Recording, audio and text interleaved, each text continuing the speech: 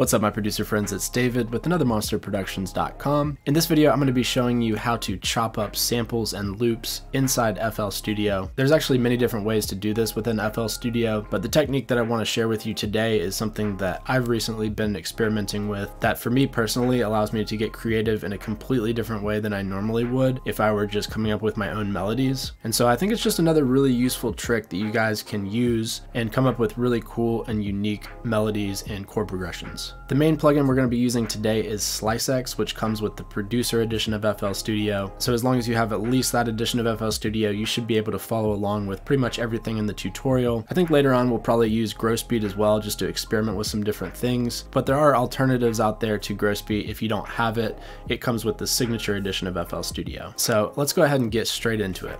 All right, so if you're going to start with a sample, you're actually going to have to turn your sample into a loop and then essentially follow along with the rest of the steps of this tutorial. So let me just real quick show you kind of how you would do that. So you can drag your sample directly into the playlist. This is how I recommend doing it. And then you're going to need to find the tempo of your sample and try and match it as close as you can to your current project. And then the easiest way to do it is just to come in here and kind of chop it uh, this is assuming that it's the same tempo. I'm not going to do that because I'm just trying to kind of show you how to do this real quick. But assuming that this loop actually made sense and was the right tempo, we could come in here and we could basically just make unique as sample. And this is going to bring up an option where we can actually save the sample as a certain name and then it's its own unique loop uh, and then we can go from there. So for this particular tutorial, what I want to actually do is use one of my 10 melody loops for trap and R&B. This is actually a little loop kit that I've been putting together for a while. Uh, it's just 10 simple basic loops, which are available on my website if you guys want to check that out. Uh, I'll be sure to leave a link in the description of the video if you guys want to get that. But let's go ahead and choose this loop here, Heartbreak, and I'm just going to drag it onto the playlist and we're actually already at the right BPM. It's at 150 BPM. So once you've got your loop loaded up into the playlist in FL Studio and it's set to the proper tempo, go ahead and click this button here, go down to channel settings, and then right down here, uh, the waveform, let's go ahead and right click this and go down to open in new SliceX channel. So that should bring SliceX up, which should look something like this. Right now it's got a lot of different markers and this could be fun to experiment with. If you have a MIDI keyboard set up, you can mess with the keys which can be fun. You can come up with some cool stuff. Right now I'm using the Akai Fire, which is a controller that actually is integrated with FL Studio. So it makes it super easy to mess with this stuff. But what I actually want to do with this loop right now is make this super simple. So let me get rid of that. I'm going to click this button here, regions. It's going to drop down and I want to go to auto slice. We're going to do dull auto slicing. So this is going to give us four basic chops. And you can actually go in here and mess with them. They have three options. You have medium auto slicing, which is going to give you, I think, pretty much what it automatically loads up as default. And then you could also go to uh, sharp auto slicing, which is going to do a lot more. So depending on the sample or loop, that may be something you want to experiment with. It might be kind of cool. Let's go ahead and go back into dull auto slicing. And now we just have four chops.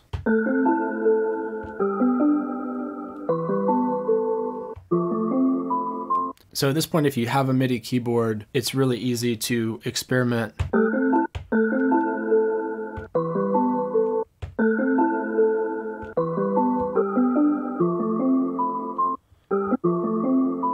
If you don't have a MIDI keyboard, that's fine. You could just click these here. Or you could just go directly into the piano roll and we could either get rid of those or just go to a new pattern and kind of mess with it this way.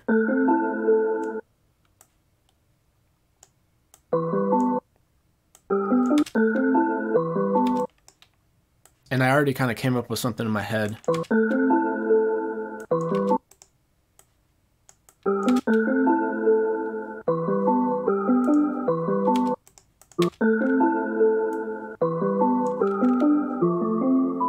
So this part of the loop right here, what I'm hearing in my head is basically only the first part of this loop.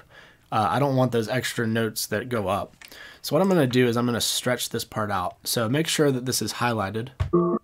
If you hit your MIDI controller, it should automatically highlight it. If you don't have a MIDI controller or if it doesn't for some reason, you can go up here to where it says markers in the region settings and you can just click it that way and that will highlight it for you. So once you have it highlighted, you can hover over this button here. This is our drum loop stretch fill gaps time stretch button. So you can click that or just hit control T and it'll bring it up. And now we want to actually stretch this sample out. So first of all, make sure that the method is set to stretch.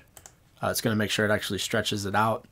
All right, so up here we have our time multiplier. You can adjust this to change the uh, time of it. So we could also do it in milliseconds. So 1,583 milliseconds is like 1.5 seconds. So I could turn this to about six seconds. Let's hit accept, see what happens. Okay, so that lengthens it out. So then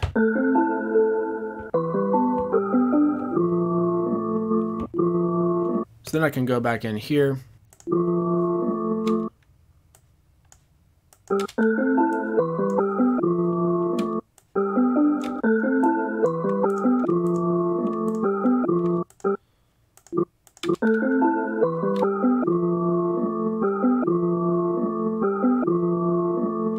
So now I gotta fix this.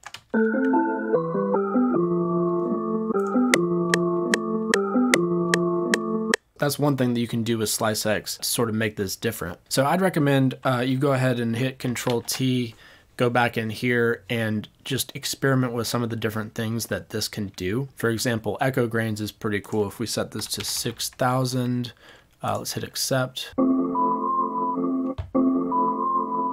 It's kind of a cool different effect. So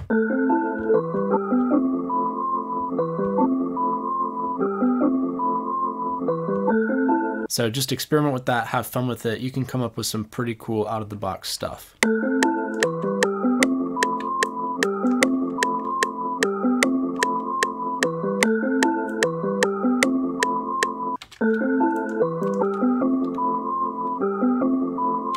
Okay, so once you've come up with your loop, in the piano roll and plotted it out. Uh, the next thing that you might want to experiment with is adding some effects on it. So I'm going to get rid of the audio of the original loop that I just had there, and I'm going to add my new pattern on the playlist. All right, so then I want to go back into my channel settings. We can click this up here and we can go ahead and route to a free mixer track. So now it's linked to a free mixer track and we can start adding some effects. I'm gonna mess with uh, gross beat first, see what we can come up with here. Um, I think it might be kind of cool to add some sort of flanging effect.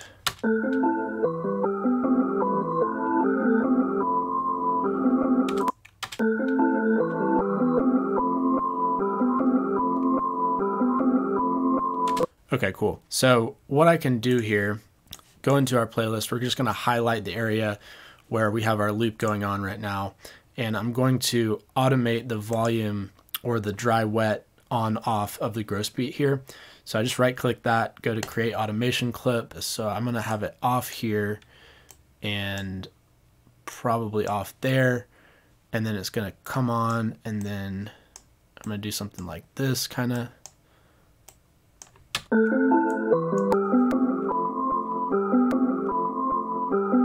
Now we're getting kind of a click, so I'm just gonna do this type of a thing.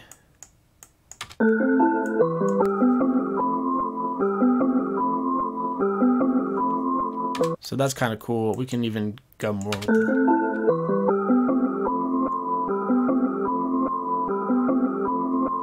All right, let's go ahead and add some reverb. Just stock settings. Let's add a delay three. Let's go ahead and move the tone down, get a little ping pong.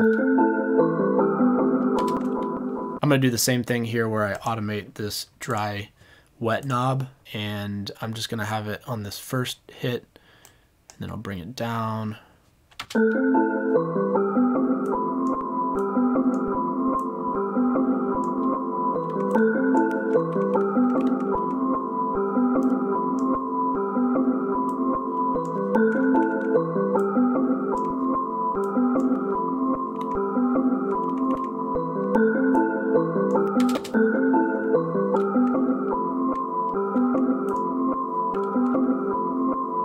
Okay, cool. So once we've added enough effects onto this to a point where we're pretty happy with the way that it's sounding, the next thing that I would do is go in here and go ahead and convert this to an audio clip. So you can go into your MIDI over here, right click it and go to quick render as audio clip and that will render it as an audio clip and then we can just bring that onto the playlist, get rid of the MIDI, get rid of the automation. Right, now we have another audio clip, which is essentially our new loop that we could potentially repeat the process if we wanted to or add more effects onto it, whatever we want to do at this stage.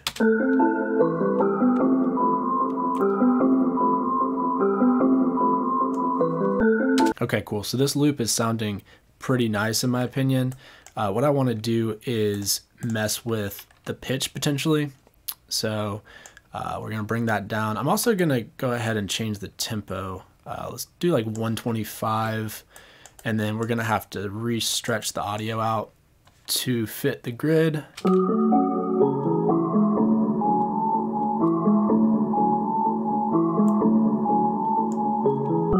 Okay, cool. So that sounds nice. Uh, another thing we could do, now that I've pitched it down a little bit, click this button, go down to make unique, and we have a unique sample, and then I can pitch this one up an octave.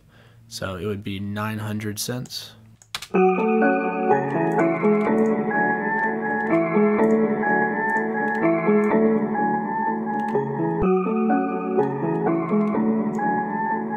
And then I could route this to a free mixer track. Uh, I could add like a stereo shaper on it.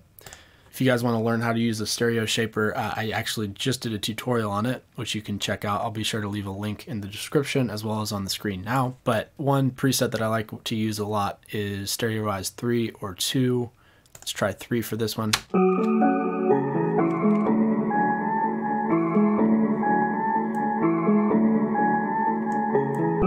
And then I'm doing a little bit of panning there.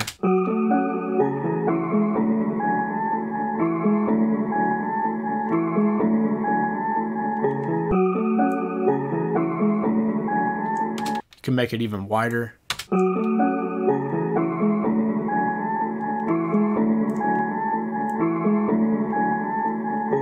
So obviously in this tutorial, I'm going through a, a, couple of cool ideas that you can do. I'd recommend you actually get in here, uh, spend more time messing around with Grossbeat, spend more time messing around with SliceX, trying to really think outside the box and come up with something cool. For the sake of this tutorial, I don't want to spend too much time like experimenting with stuff. So let's go ahead and wrap this up. But first, let's see if we can make a beat out of this.